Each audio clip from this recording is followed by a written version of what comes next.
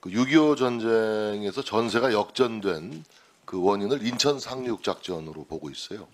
그래가지고 수십 년 동안에 걸쳐서 동해안 철도를 따라서 방대한 해안 방어선을 구축했습니다.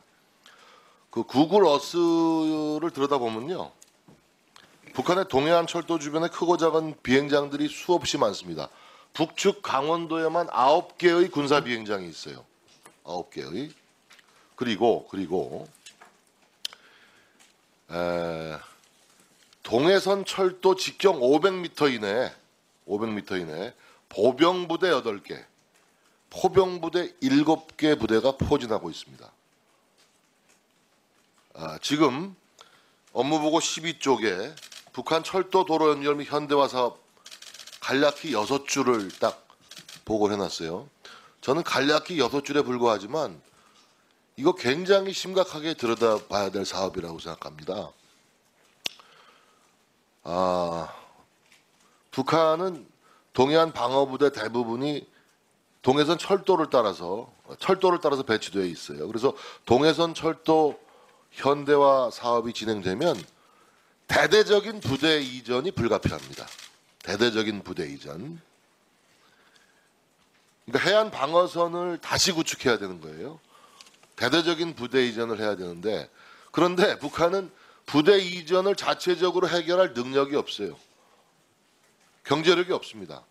지난번 개선공단 조성 때도 북한의 군부대는 새로운 주둔지를 마련하기 위해서 엄청난 고생을 했었어요. 이 근데 부대 이전만 해결해 주면 해결되는 문제죠. 해결되는 문제. 바로 이 우리가 투자하고자 하는 이 사업에 북한의 군부대 이전 계획도 들어 있을 겁니다. 그렇죠? 일단 뭐 그런 부분을 저희가 북측하고 얘기한 바는 없습니다. 그건 북한 좋습니다. 좋습니다. 그런데. 결국은 동해선 이 연결 사업을 하려면 금년에 또 착공식까지 한다 그러죠. 동해선의 해안선에 밀집되어 있는 국- 북한의 군부대, 비행장, 군시설 이거 이전하지 않고서는 해결될 수가 없는 거예요. 천문학적인 예산이 소요되는 겁니다. 그 돈은 누구 돈이죠? 우리 대한민국 국민들의 혈세로 북한의 군부대를 이전해 주는 일을 벌여야 하는 겁니다. 음?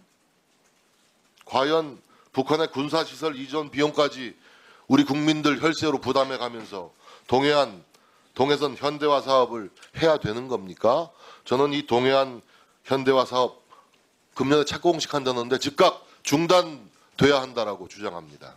의원님 잠깐 잠깐만요. 예. 잠깐만요.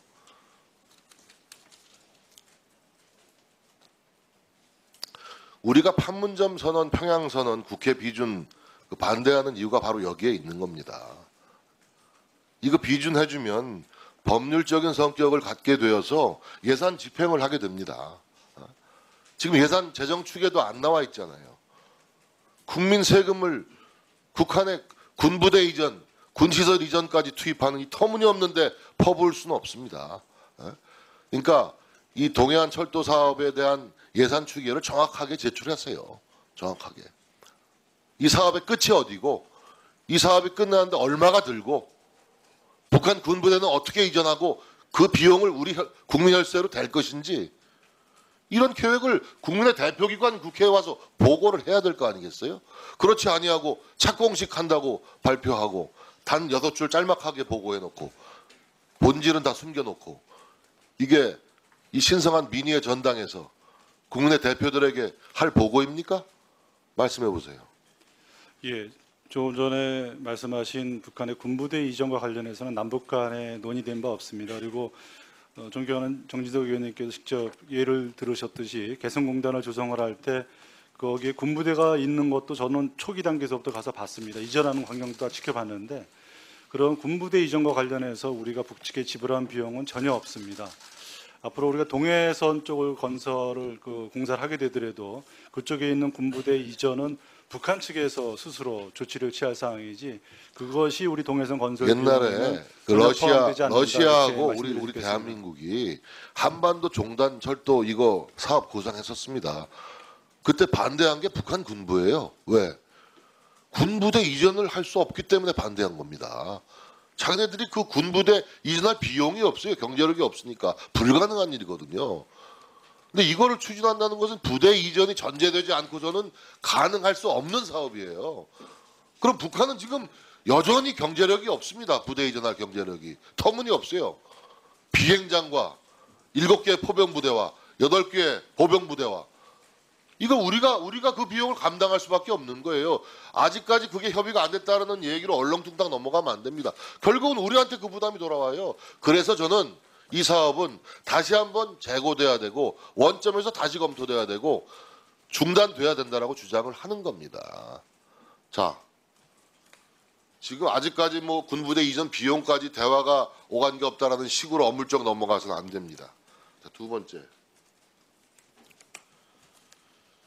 지금 음, 8월 한 달 동안에 말이죠. 제가 관세청 수출입 통계를 보니까 8월 한 달 동안입니다.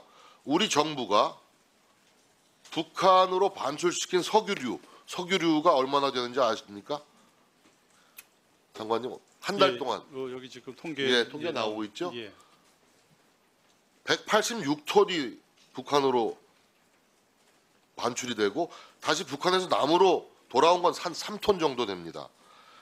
어디다 썼냐 물어보니까 이 186톤이라는 것은 탱크롤이 36대에 넘는 분량이죠. 이 중에서 98.4톤은 이산가족 상봉을 위한 것이고 나머지는 남북 공동 연락사무소를 위해 썼다라 그래요. 7일간의 이산가족 상봉을 위해서 석유 98.4톤을 사용했다는 것도 의문이 들지만 나머지 87.6 87.6톤이 남북 공동 연락 사무소 운영을 위해 나갔다. 이거 대북 제재 위반 아닙니까? 아니 앞서 밝혀진 6월에서 7월 두 달간의 남북 공동 연락 사무소로 나간 석유류가 약 83톤. 이것까지 합하면 3개월 동안에 약 170.6톤이 남북 공동 연락 사무소로 나간 셈이죠. 아니 5톤 탱크롤이 36대 분량이 넘는 석유류로 도대체 남북 공동 연락 사무소에서는 무슨 일을 하는 겁니까? 제가 설명드려도 되겠습니까? 이 그리고 이 사용 목적을 예. 자료로 제출하라고 요구했는데 통일부 담당과의 답변이 알려줄 수 없다라고 합니다. 이게 국감을 받는 피감기관의 태도입니까? 분명히 저 우리 보좌관하고 통화한 직원이 있을 거예요. 남북 연락사무소에 간 181톤 이 석유의 반출 목적에 대해서 즉각 밝혀주시기 바랍니다. 그리고 유엔 대북 제재 위반 여부에 대해서 검토하고 보고해 주시기 바랍니다. 예, 그러면 지금 설명드릴까요? 자료로 지금 설명드릴까요? 예. 예. 우선 이산가족 상봉 행사 관련해서는 개성공단 개성에 있는 연락사무소도 마찬가지입니다만 이산가족 상봉 행사를 위해서 한 달 이상의 개보수 공사를 했습니다. 거기 전혀 전기가 공급되지 않는 것이기 때문에 우리 측에서 발전기를 가져가거나 현재 있는 발전기를 개보수해서 발전기를 돌려가면서 개보수 공사를 했습니다. 그래서 앞에서 말씀하신 것처럼 7일간의 행사를 그 7일간 사용한 것이 아니라 개보수 공사를 위한 공사에 필요한 발전기 그 가동용으로 어, 저희가 유류를 공급했다 말씀드릴 수 있겠고요. 아니 근데 예, 개성 연락사무소도 아니, 마찬가지. 전력 발전에 이렇게 유류가 많이 들어갑니까? 글쎄 제가 그런 아니, 기술적인 아니 사항까지는 그러니까 예, 이게 5톤 탱크롤이 36대 분량이라는 것이 상상하면 어느 정도 짐작이 가잖아요. 예. 근데 며칠 동안에 전력 생산에 이렇게 많은 유류가 필요하냐 그 말입니다. 예, 뭐 저희가 북측에 뭐 기름 전혀 북측에 지금 그 넘어가지 않도록 철저하게 관리하면서 사용을 남아 했습니다. 있는 용량이 얼마나 됩니까 그러면? 반출된 그거는 석유류 석유류라고 돼 있는데 예. 구체적으로 뭐예요? 석유도 있고 휘발유도 있고 그렇습니까? 어떤 겁니까? 발전기 종류에 따라서 그리고 현지에서 차량이 좀 움직여야 되는 경우들이 있습니다. 차량에 정확히 필요한 그런 기름들도 그 많고. 건네진 석유류라고만 제가 보고를 받았는데 예. 휘발유 얼마, 석유 얼마 이렇게 나눠서 좀 얘기를 한번 해보세요. 건네간 거. 지금 건네진 제가 그런 자료를 갖고 3개월 있지는 동안에. 않습니다. 자료를 갖고 이거 있지는 않은데 담당자 담당 국장 아시는 분 있어요? 지금 본 의원이 지적한 3개월 동안에 북한 공동 연락 사무소 운영 목적으로 어, 반출된 이른바 석유류를 구체적으로 설명해 보세요.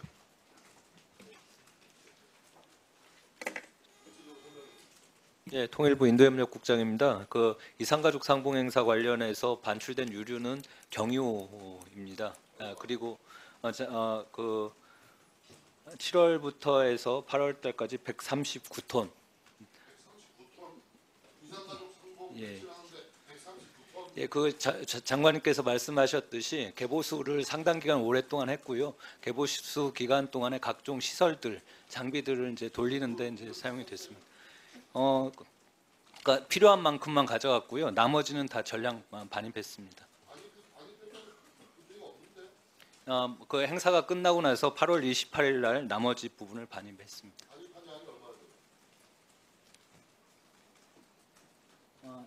27kg 정도 반입했습니다. 예, 그, 그 그러니까 아까 말씀드린 대로 어, 필요한 만큼만 이제 어, 계속 주기적으로 반입 어, 그 반출을 했기 때문에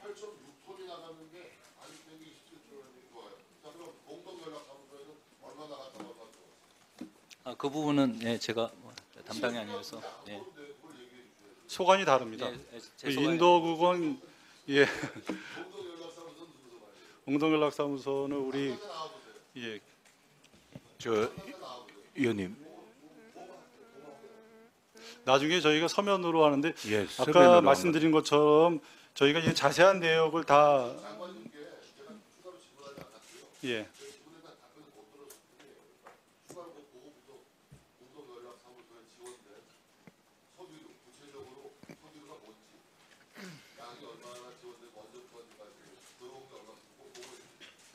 예, 예, 알겠습니다. 예. 예, 예 그렇게 하시죠. 예, 다만 그러면은 하나만 제가 말씀드려도 되겠습니까? 저희가 하나 검토해야 될 것은 그 저희가 유엔 예, 알겠습니다. 수고 수고하셨습니다. 나중에 어, 전체 의원님들에게 그 자료를 공통으로 볼 수 있도록 조치를 예. 바라겠습니다. 알겠습니다. 다만 하나만 좀 말씀드려도 되겠습니까, 위원장님? 예, 말씀하세요. 예, 앞에 정진석 의원님이 자료 요구에 대해서 지적하셨듯이 저희가 유엔 제재위에서는 기본적으로 제재위에 저희가 예외라든가 면제 신청하는 그런 절차를 비공개로 하도록 되어 있습니다. 그래서 저희가 이런 관세청 통계에는 사업의 목적이 특정되지 않고 통계는 올라갑니다만 구체적으로 사업과 연계해서 설명드리는 것은 그런 유엔 제재위의 비공개 방침에 따라서 저희가 그런 설명을 못 드리고 있다는 점을 양해해 주셨으면 합니다. 예, 그럼 개인적으로 하시고요. 보충 질의 때 자세하게 두 분이